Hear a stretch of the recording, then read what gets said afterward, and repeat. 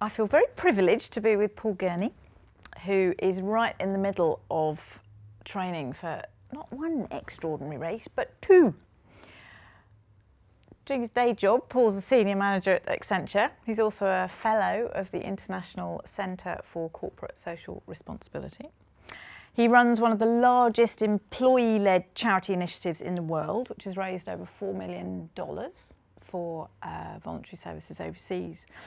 But he's currently training, as I said, to become one of only three people in history to have completed two of possibly toughest races on earth. The Marathon des Sables, which is a 210k ultra marathon, multi day in the Sahara and the second race, which he's currently training for, is um, a race to the magnetic North Pole, 620 kilometres, with a very real possibility of having to deal with minus 50 degrees C um, during the day and night, I presume, and a very real possibility of polar bears. So, obviously, that spirit of adventure is something that you've you've always had, but what, what was the spark, what was the catalyst that made you think, I'm going to race to the North Pole? I think it's been a few things really. I think over the past few years I have done a number of different challenges and running the charities really given me the opportunity to get a lot more people involved in doing these sorts of things. So I think for me a key focus was how can I take this to the next level? That's both for me personally but also in terms of doing a lot more for the charity. So I think when I looked at the opportunities to do something genuinely unique, um, you know, the idea of this fire and ice challenge was born. You know, going from minus 50 to one of the most extreme parts of the world at the North Pole, through to plus 50 at the Marathon des Sables. So two hugely different challenges, but, but really challenges that I think will inspire people to get involved with the charity um, and really do things for themselves that will push their own boundaries and push their own limits in the same way I'm trying to do for that for myself as well. Mm. I th think the big thing for me is people getting the opportunity to see what they themselves are capable of. And no matter what that is, whether that's a, a 10K in your local park or going to the North Pole, it's about challenging yourself and doing things genuinely at, at the limit and really not having the confidence you're necessarily going to achieve and succeed your, your goals. And I think for me, you know, over the years, I've still not found that point at which it stops and it all goes horribly wrong. I will find that point. I'm hoping it's not going to be in the middle of the Arctic, um, you know, facing a polar bear or, you know, 3,000 feet at the bottom of the ocean. But I, don't, you know, I genuinely believe that if you prepare for these things and you prepare for them well, you, you can do them. Whether that be, you know, and I've done it in training, running 100 kilometres in one go. Mm. Um, you know, mentally you go through so many different emotions and so many different physical challenges, um, and that's going to be the same on both of, both of these races. Um, you know, another key thing is just the ability to manage yourself and be efficient with what you're doing. So looking after yourself in hostile environments, whether that's as simple as cooking food in the middle of the Arctic with polar bears around, um, simply managing your gear in the middle of an Arctic storm, mm. or whether that's in the middle of a desert, um, you know, carrying all your kit for the next seven days that you're trying to pack into a smaller space as possible. Um, you know, they, they, both have huge challenges. I think from a fitness point of view, overall fitness obviously critical to both of them. I'm going to be very different physically for the North Pole. That's what I was thinking. I need to be probably 20 kilograms heavier than I am when I do the Marathon des Sables. So actually one of my big challenges now, I've done a lot of the fitness training, is to put on another 10 or 15 kilos. Mm. Simply just body fat and actually give me the energy stores that I can survive for six weeks in the Arctic you know, using eight to 10,000 calories, whereas I'm only eating five. Mm. Um, you know, so, so, there's definitely elements that are the same, yeah. um, but, but certainly they are quite literally opposite ends of the spectrum in terms of the environment I'm facing. Mm. So uh, as soon as I come back from the pole, I'm literally switching straight into to running uh, mode. I'll be, you know, starting to get back on doing ultra marathons and a lot of long distance training. So Whereas now I'm spending a lot of time in the gym and, and technically preparing in terms of you know learning how to use my kit and figuring out you know best That's ways to. a lot of kit. It's a huge amount of kit. I'm carrying probably and about. Are you carrying it or dragging it? What, what's the? Yeah, it's all dragged on a sled actually. So I've got a. Um, you have a you have a harness that that you're basically attached to the whole time. And clipped behind you is, is a sled, and that's probably going to have, we've not weighed them yet, but probably around 120, 130 kilos. So you drag that behind you, and, and the best way it's described to me is, um, so if you go into your bathroom, rip out your bath, um, Take it for a walk. put, put two of your heaviest mates in there, take it down to the beach, drag it up and down for six weeks. Um, so physically, it's great. What a challenge! I mean, what more Well, could you want? What more could you want? So, uh, so that's a little different. Obviously, the running, I'm trying to do completely the opposite. Um, so instead of 130 kilos, I'm trying to carry as little as I can possibly manage, um, uh, which aiming for about six or seven kilos of kit, and that's all for, for seven days of running in the desert. Plus, obviously, the water you get given. Yeah. Um, but that includes food, that includes sleeping bag, and So the only thing it's not included is water. yeah, Yeah, so that's food for seven days, um, sleeping bag, venom kit, flares, um, um, you know, emergency medical kit, all of those things compared with 130 kilos of, you know, I've got rations for 35 days at the pole, um, you know, all the kit that comes with you. And surprisingly, very little of that is actually clothing. You know, you Mm. only change your clothes probably, well, your, your base layers maybe two or three times in that six weeks. So have you got a very different group of people that are, I suppose, supporting you, if you like, your support network around being in initially Mm. that extreme icy, you know, the wind chill, the polar bears, the you know, the ocean and everything Yeah, yeah. that goes with that. Is it So- people that have done it before? Yeah, it's an it's an amazing group of people. So the guy who who set up this race, the polar race, uh, phenomenal character, huge huge amount of um, respect from the sort of adventure community in the sense that he he's got a number of world records to his name and polar firsts. So one of the most experienced people in the Arctic you'll you'll ever meet.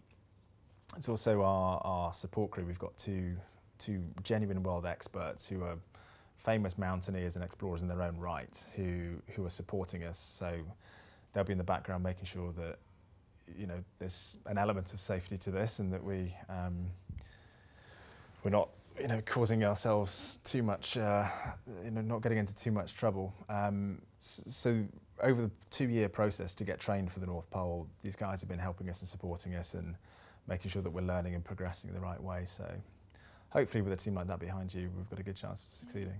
And so if they push you to do, I don't know, but I'm I'm presuming it might be the sort of challenge that you don't quite know what you're up against until you're up against it, sort of thing. But are there other Mm.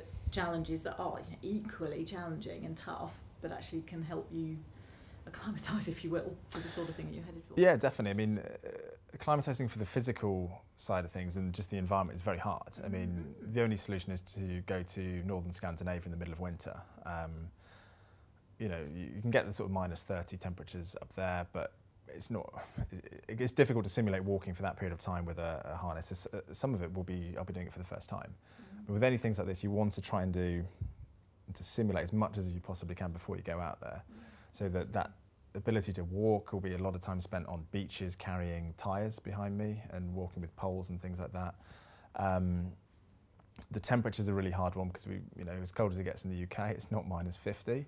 Um, so, you know, spending some time in, you know, cold facilities, and we've got a couple around the UK. It's the wind chill, presumably, that's that's Yeah, can that's be so much worse than. yeah, that's that's really the the difficult part because if it is windy, it's a bizarre one, but it's actually not the temperature necessarily. It's sometimes the just the noise and the challenge of it, and especially if it's blowing up a lot of dust and, and, and wind, sorry, and a lot of snow, you can't even see the people you're you're with, and that environment becomes a little bit tricky. Everything becomes more difficult. Even just talking to each other in really high wind becomes quite difficult.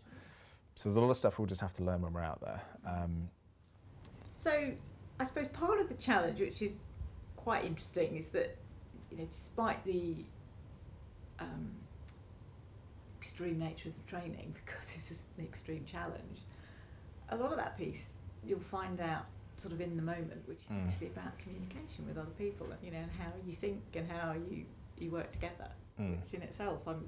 You know, is that something that you're doing before, or, or are you doing challenges together? Yeah, absolutely. I mean, for the polar trip, you know, it, it really is a team effort. In fact, it doesn't matter how fit I am um, or how able I am to do certain things. I'm totally reliant and dependent upon and supportive of my team members. Um, so yeah, absolutely, we're, we're going to be spending a lot of time together, and some of that is actually just totally removed from doing anything at the pole. It's actually really getting to know someone on a a really basic level because we get in trouble out there or even just spending six weeks with very little communication with anybody else at all for that period of time. It's going to be one of the most important things actually just knowing how to deal with each other. Getting through any sort of nonsense around egos or anything like that doesn't matter. You've just got to work well together as a team no matter what else. Yeah, absolutely. What keeps you going? What keeps that spirit going, if you will, on those days when it's difficult, when it's hard, when it's too hot, when it's too cold, when there might be a polar bear on the horizon? What keeps you going through those days when it's tough? you always have your days when things don't go to plan. And you you know it's a, it's a long run. And you've got a time in your head and you know what you're not achieving it because you feel terrible or the weather's much worse or it's colder or it's hotter or you know you run out of water on a 80k run and you had to go to Asda which has happened many a time. You just run out of run out of provisions. And it gets frustrating. Um, you do have times when you just look at yourself and it's you know four o'clock in the morning and you're still running and you're just thinking what am I doing with my life this is something's gone wrong um, but actually, uh, it's, it's very easy to kind of get yourself out of that mode sometimes um, because, you know, on the flip side, you have all these situations where you're a bit frustrated, but the times when things are going well and you're happy and you still realise the big picture of what you're trying to do, and ultimately for me, the charity side, the impact it's having, mm. that's really what it's all about. So actually, you know what, even if I don't get the best time on something or it's not going quite to plan, as long as I still achieve what I'm trying to do, actually, that's fine. And I'm I'm okay with that. And, and is that is that what you do in those moments when it's yeah you've yeah when it's really difficult you've just got to it's it's solely mental strength. I mean your body will endure more than you could possibly imagine. Um, you know I've been in you know, that hundred kilometre run I was talking about. Yeah. The pain you go through is almost indescribable. Um, it's impossibly difficult. You know, you've been running for eight, nine hours. Um, it's you know midnight, there's no one else around, you're still running, and you know you're in a race as well. Um, you just got to say to yourself, you know, just keep going, and, just mentally keep pushing yourself, and you know what, you'll keep running, and you'll be amazed that you will just keep on going.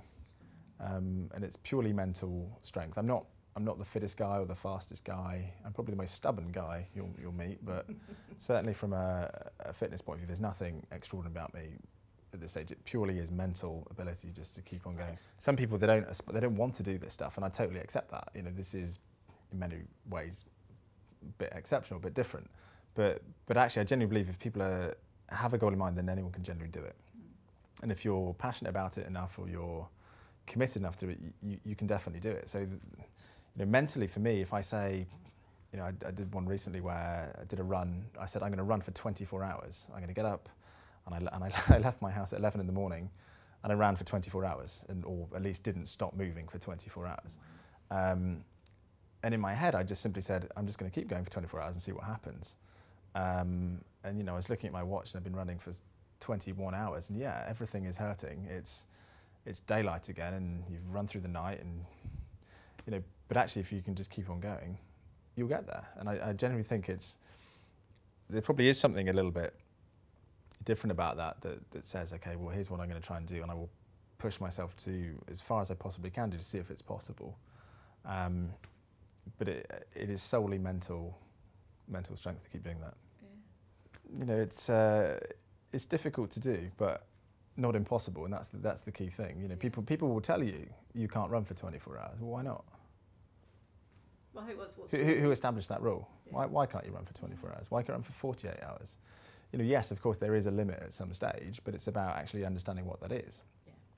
And if you know what it takes to be able to run for 24 hours or to get to the North Pole or to run the Marathon des Sables or even do a 5K in your local park, it doesn't really matter. It's about it's about saying, okay, well, here, here's the five things I need to do to be able to achieve this, and then going after them quite systematically, working on it, and you'll do it. But you've got to stick to that plan. Yeah. A lot of people would be hugely inspired by what you do. I know also a lot of people would be terrified by the thought of what you're just about to embark on. But, but who, who, who inspires you? Who are those people there that you know have inspired you to do this? It's a great question. Um, I think I think if I look back, uh, a lot of the things I've read over the years and people I've followed, I think there's some, there's some natural people that you would always say. You know, Sir Ranulph Fiennes, um, someone who I've, I've, recently had the, the privilege of, of, of seeing you know, people again who tried to do something that had just never been done. You know, a you know crossing uh, Antarctica from from land from one side of the continent to the other had never been done before. People said it wasn't possible, and continuing, you know, even at his age now of 68, continuing to to challenge what people perceive as impossible. Um, I think uh, I think that's hugely hugely inspiring. It's it's not him per se, but it's that mentality of Yeah, sure. trying to do something, whatever field it is, whether that's um, sport or even politics or any form of leadership, is, is is really about trying to do things that people haven't done before, and and that to me is really what inspires me personally, and I see that in all, all sorts of walks of life. People who are just resolutely focused on something, as long as it's something I agree with, um, or, or generally don't have any issues with. I think you know that's what that's what really inspires me personally.